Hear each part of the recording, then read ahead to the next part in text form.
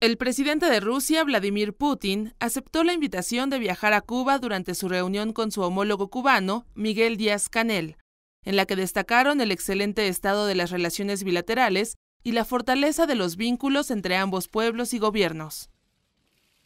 Aprovecharé sin falta la invitación, dijo Putin al finalizar su encuentro con Díaz Canel, quien a su vez prometió volver a Rusia el próximo año para las celebraciones del Día de la Victoria el 9 de mayo y el 75 aniversario de la victoria rusa sobre la Alemania nazi en la Segunda Guerra Mundial.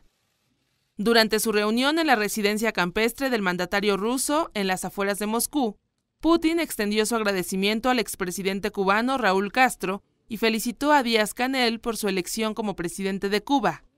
Ambos presidentes se reunieron para consolidar la cooperación bilateral y las relaciones económico-comerciales ante el bloqueo de Estados Unidos.